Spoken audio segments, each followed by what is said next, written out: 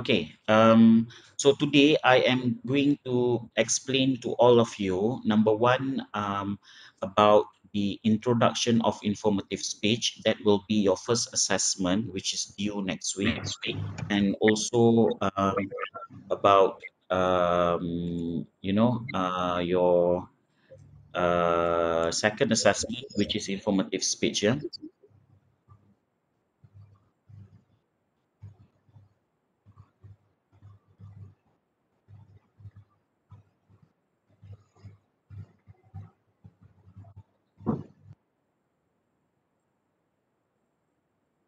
Okay.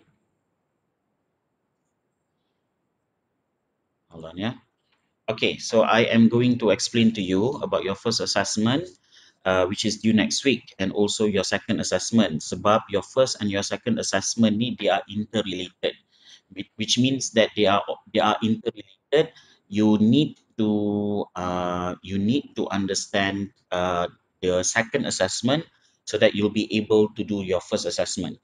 Okay, your first assessment, uh, you are required to video record yourself. Okay you need to video record yourself on your introduction of your uh, informative speech.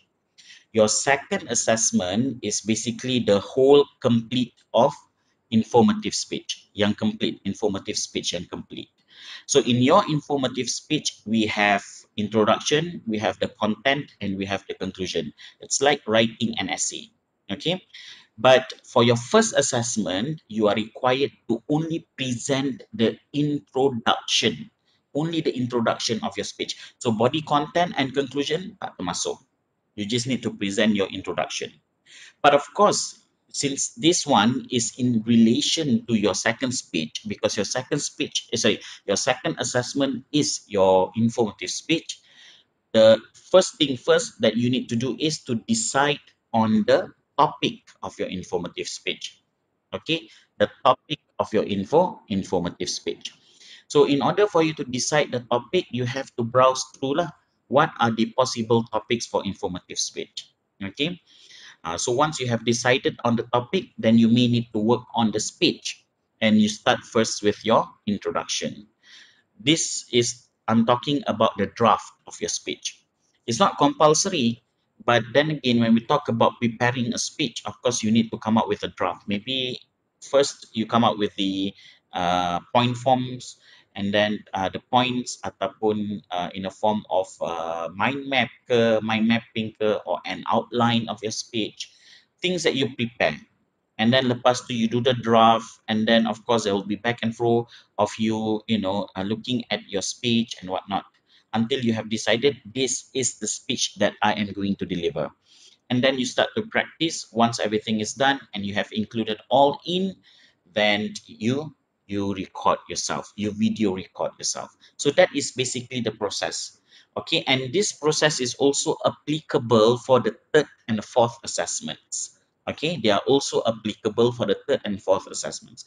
Cuma, you only video record yourself together with your slides because you'll be using your slides and that's it okay uh, uh, but I'm not going to talk in details about your second assessment yet belum cuma I want you to understand what the second assessment is so that you will understand what your first assessment is. Okay? All right so now let us talk about your uh, uh, let uh, I'm going to share with you um, hold on yeah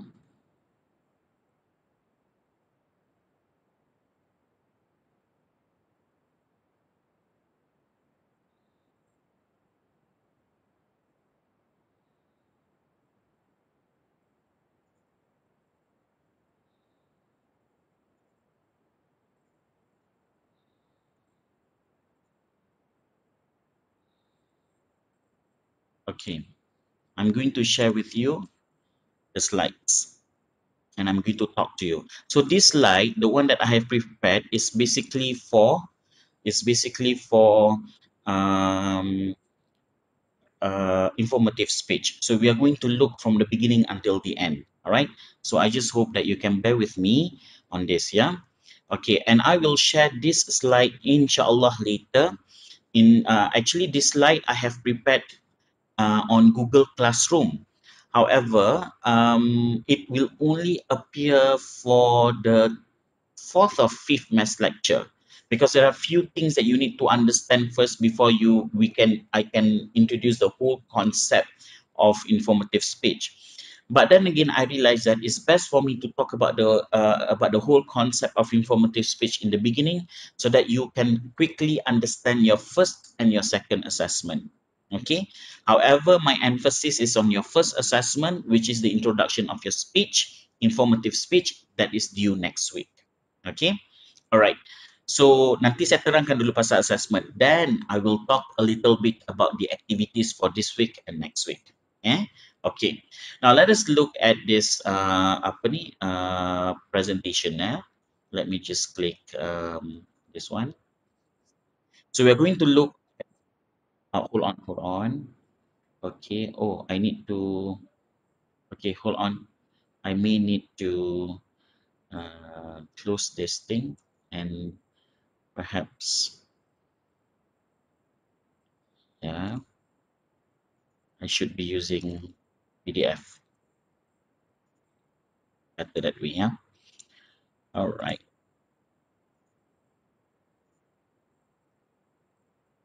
okay. All right so I hope you're able to view this yeah? Okay. Now we're going to look at informative speech okay? And um kita start dulu lah dengan the first part that is we look at the content alright? What is an informative speech types of informative speech so how to brainstorm the topic of my informative speech and how to write the introduction how to write the body content and how to write the conclusion. Now if you ask me mr e do we have to write the speech curve? It is an optional. Because at the end of the day your assessment yang you kena submit ialah the video of your complete speech that is your second assessment. The video of your introduction of your informative speech that would be your first assessment. Itu je you submit. You do not submit to us your draft of your speech. You don't submit to to me your uh, outline of your speech your uh, mind map of your speech. Tak ada. That one you keep it to yourself. That is part of the process of you forming or of you uh, uh, designing your speech tapi we are we are only interested in the presentation of your informative speech as well as the introduction of your speech for assignment one uh, sorry assessment one and assessment two respectively. Yeah? Okay we are only interested in that so that is why um, you don't submit any written uh, assessment or any you are not doing any written assessment you are not submitting any written assignment to me. Because daripada assignment one assessment one right up until assessment number four everything is all about uh, the production the speaking production. Okay that means we just want you to video record and submit. Along with 27 activities that you have to do every single week uh, so far, uh, this is already week three. There are five activities that you should have done doing it. Okay, there are five activities. Okay, uh, so far lah kalau ikut sampai ke minggu tiga ni, dah ada lima. Okay, now let us start with informative speech. Now, what is an informative speech? Informative speech is a speech that tells the audience about something simple. It comes from the word info, information. That means you have something with you information you want to share with your audience. Simple. What do you want to tell your audience about? Okay. So the tone of your speech too, it has to be neutral lah, because you are just telling people what that thing is. Okay. And after listening to the speech, the audience will receive new information. Kalau dia dah pernah dengar information tu, either dia they will be added up with more information or they will be enlightened with new and recent information itu sahaja. Okay. And then some of the samples of the topic, like for example, my favorite singer, or how to prepare for a catastrophic emergency. What is play truant and how to solve it? What is augmented reality, AI? Banyak. A lot of topics can be used as informative speech. Yeah. So you decide. So nanti later, together with your group members, you have to sit down and decide because this is individual assessment. Our assessments are all done individually. I repeat, all assessments are done individually. So if there are 30 of you in the group, there should be 30 different topics. Do I get myself clear? 30 different topics of informative speech. Kalau ada 25 orang, 25 different topics of informative speech. Tak boleh sama. So that's why you need to sit down. I'm pretty sure at this point, you have already had with you a group, a WhatsApp group. Don't include me in in your WhatsApp group. But you dengan kawan-kawan you dah ada WhatsApp group. So in your WhatsApp group, please decide who does what topic. Okay, so that you won't be presenting the same the same topic. Okay, and if you were to look at the given samples, these are samples of topics. Tapi you fikirlah, you katakan, I want to talk about pencil. I want to talk about car. You are already doing degree program. Akan you nak cerita benda-benda yang orang mungkin dah tahu. So how informative is that if people have known about it? Betul tak? So you may want to find a little bit different. Something that maybe new to people, new to the audience, I don't know. Tapi not to a point nanti when you want to do your speech and you want to find information about the topic of your speech, you susah nak cari information tersebut. Because it's too new, tak ada ramai yang cerita ataupun not many materials or sources available, especially online. Pun no point juga. As much as I am encouraging you to be different when it comes to the speech, the topic of your speech, you must also remember and bear in mind that how how interesting and unique the topic is. You must be able to find information able to find materials able to find sources to support your speech. So ada dua concerns kat sini lah. You want to be a bit different? Takkanlah semua nak cerita pasal kereta saja so maybe one maybe some of you want to talk about something else and the level of your information to has to be at, on par with you, your level, a degree student, undergrad. Undergrad tak cerita pasal pencil. They don't talk about pencil. They don't talk about cars. Small kids, perhaps, yes. Because we want to improve their proficiency. But when it comes to your level, we just want you to be able not only to to to help with your pronunciation with your spoken part your your your speaking ability but also we want to gauge the way you represent uh, the way you talk about the the content. Yeah? Okay. So i hope you understand the whole concept of informative speech. Okay? Now there are a few types lah.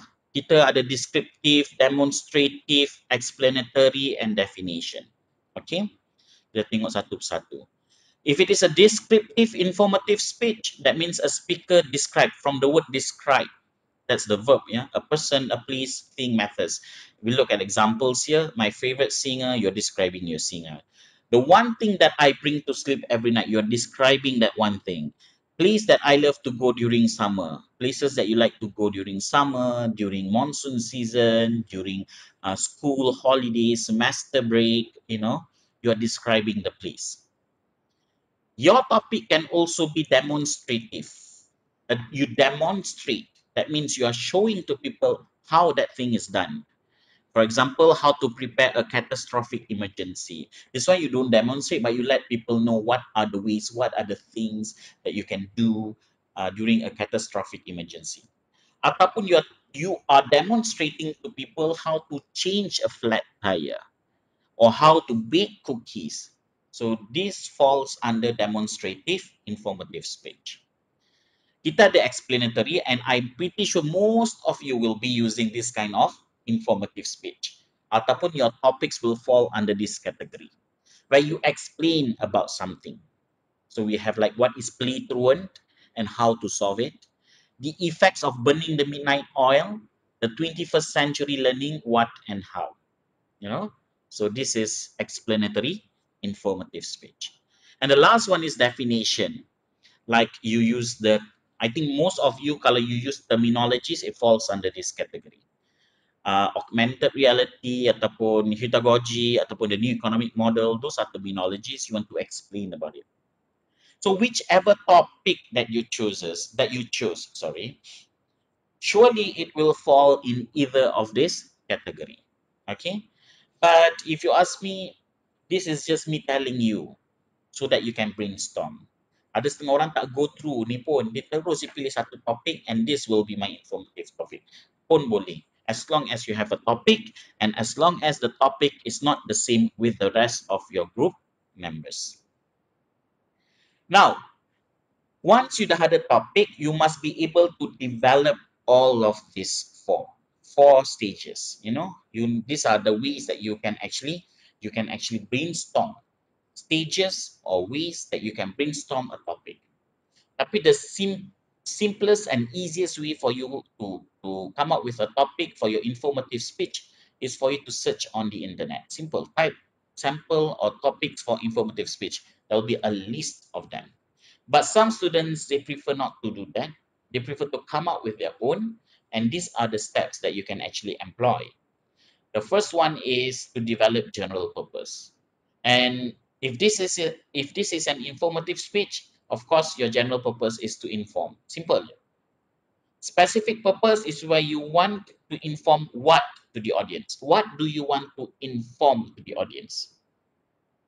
Central idea is where you mention three things that your audience will get upon listening to your to your speech. Now, why three? Why not four? Why not five?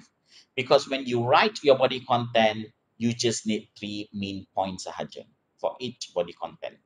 Because normally it's a five paragraph essay where you have your introduction, three body content, and one conclusion. Sama je, speech sama macam essay. So you need three points.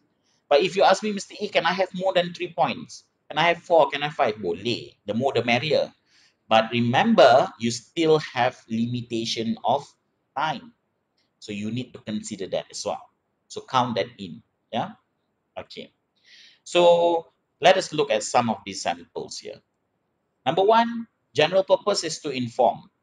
As I mentioned to you, specific purpose, what do you want to inform to your audience? So specific purpose is to inform my audience about how to improve one's proficiency in English. So when you have the word how, automatically this will fall under the category of demonstrative informative speech.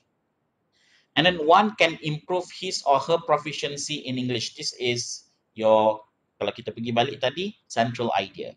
Okay, the third one is your central idea. Central idea must be written in one sentence. I repeat, sentence. Central idea must be written in one sentence that includes three main points. That includes three main points. Okay, so let us look at the example here. One can improve his or her proficiency in English by number one, listening to English songs, number two, watch English movies, and number three, read English newspapers. So these are the three main points. Everything is written in one sentence.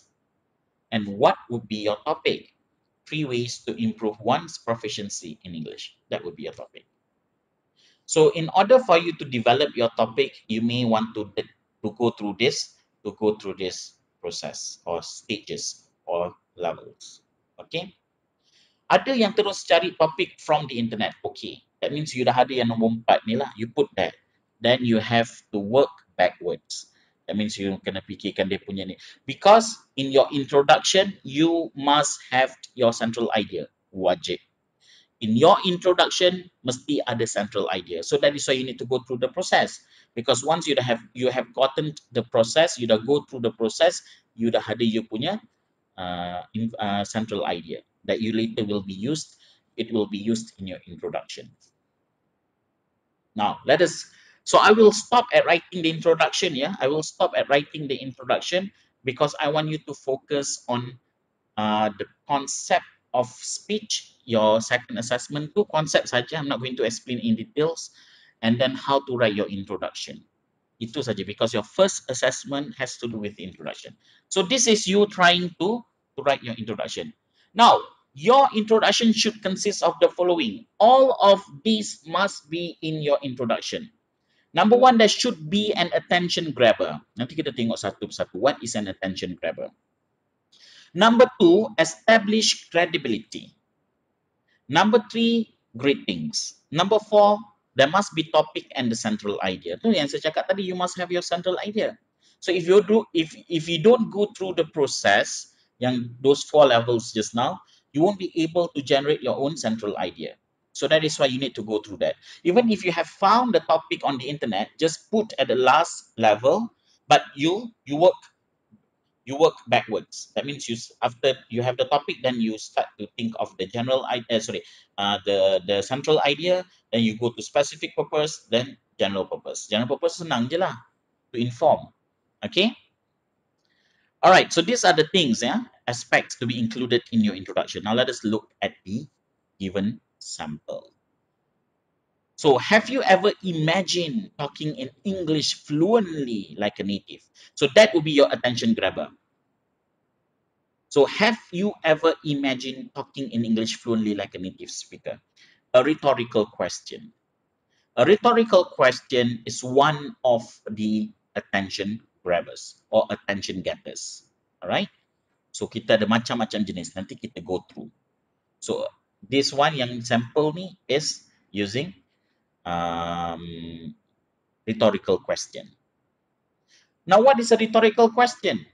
If I were to ask this question to my audience, will I expect them to answer? Yes, but in their hearts. That means jawab je lah hati. Ya, ya, ya, ya. I think I pernah lah imagine kalau I cakap bahasa Inggeris sangat bagus, very fluent. Ah, I pernah terfikir jugalah. Okay. Tapi you you when you ask this question in your speech, you don't wait, you don't pause so that they can respond. Maybe pause a little, just for them to think and and ponder. Tu je. Okay. We may have that feeling whenever we watch an English or TV series. I myself at times feel that way too. So you establish your credibility. That means you are associating with your audience when you watch English movies, you see people talk English fluently and you feel like macam, oh, how I wish I can speak as good as he is. Betul tak? Itu itu your rhetorical question tadi. And it happens to us most of the time. Sometimes when I speak English, there were few people who were in the audience ask me, eh, how come eh, you speak good English? Oh, how I wish I can speak like you, like Elias, macam tu. So sometimes we also have that feeling, so yeah. So yang the blue color tu is where you establish your credibility. But I know for sure feeling about it isn't enough. Yang putih tu elaboration lah, you elaborate because it's your introduction kan. So I have to do something to catch that dream. Good morning ladies and gentlemen. Greetings mesti ada. Today I would like to talk about topic plus central idea.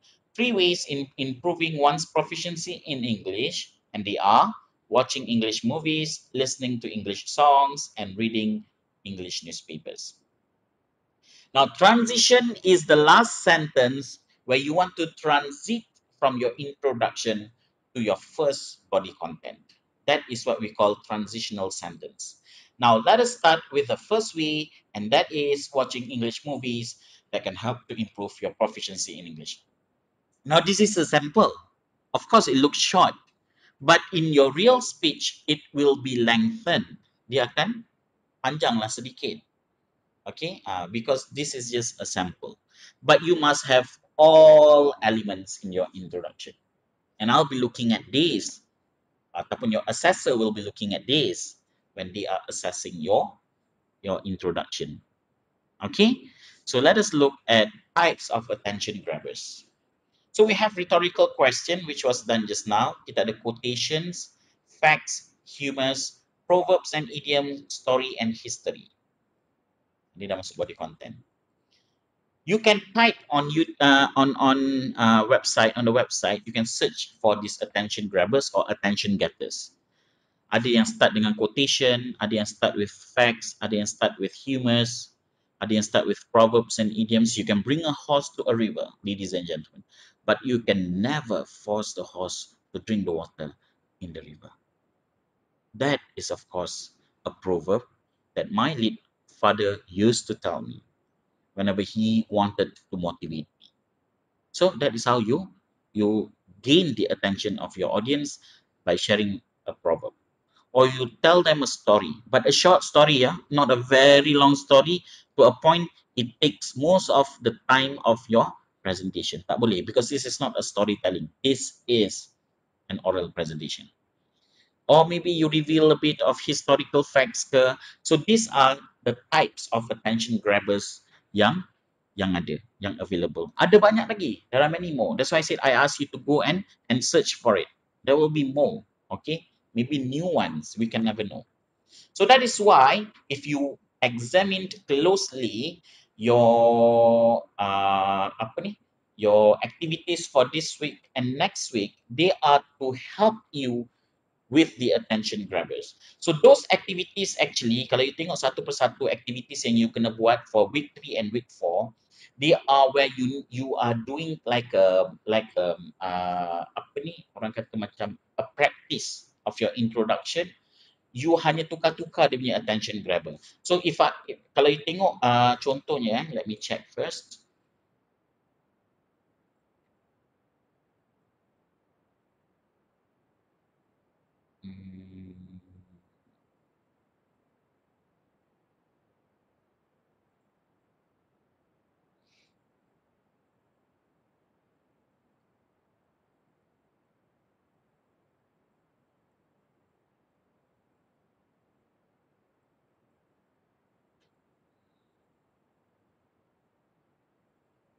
Okay.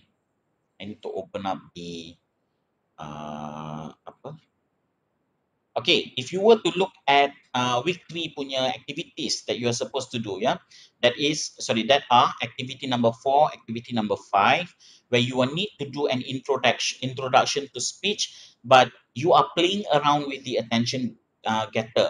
So untuk yang yang the activity number four, you are playing around with anecdote or rhetorical question or humor. You have to choose eh, as your attention grabber.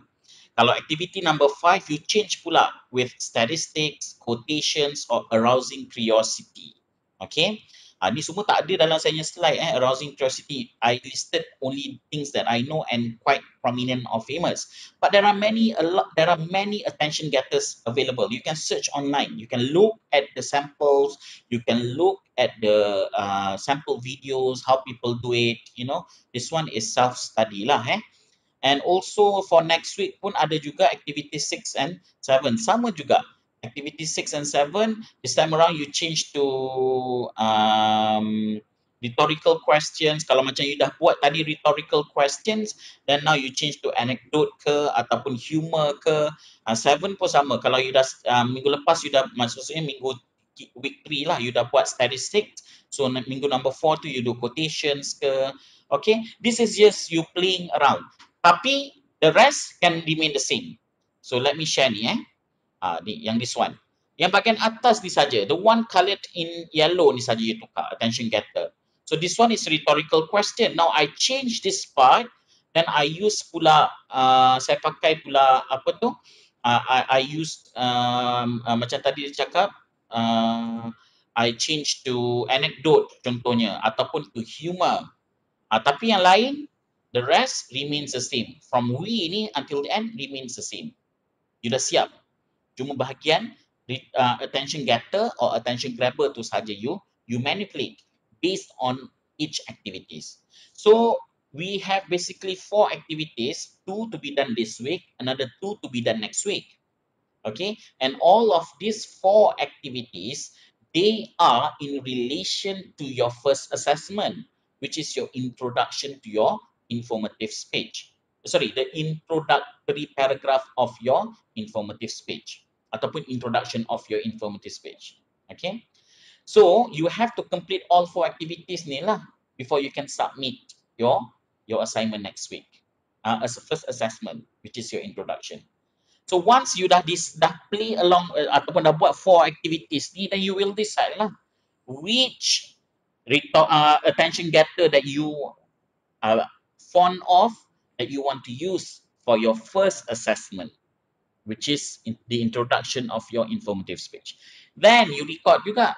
You record lah video tu and you submit. Uh, and then you submit next week. Okay.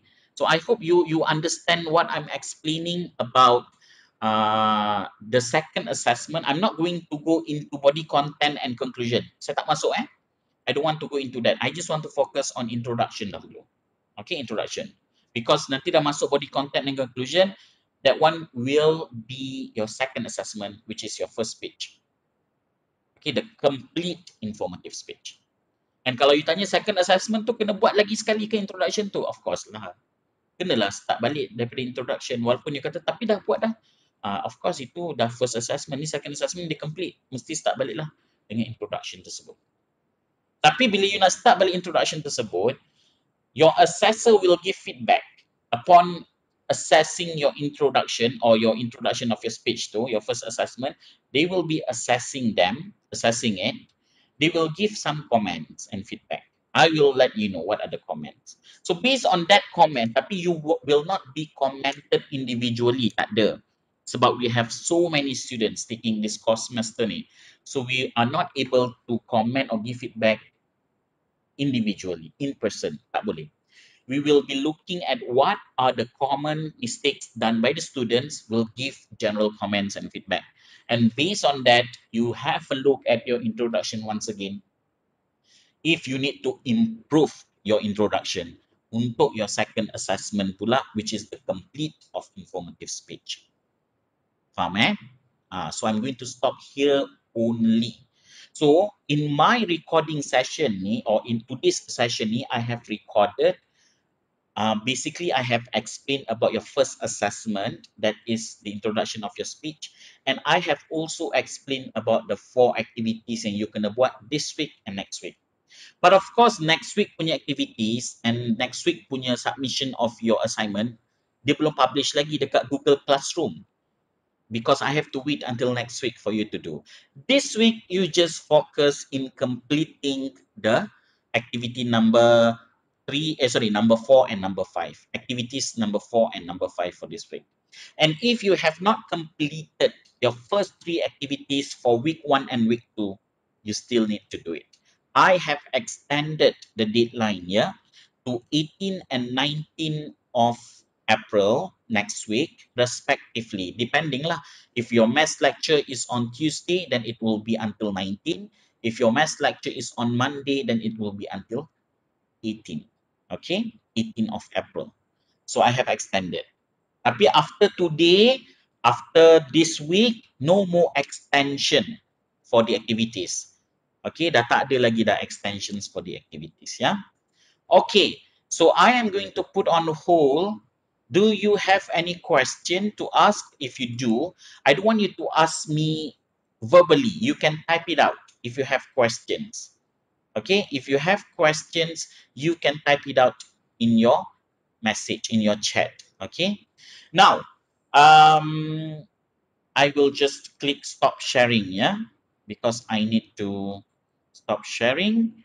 And then while waiting if let's say there's questions from from from you lah.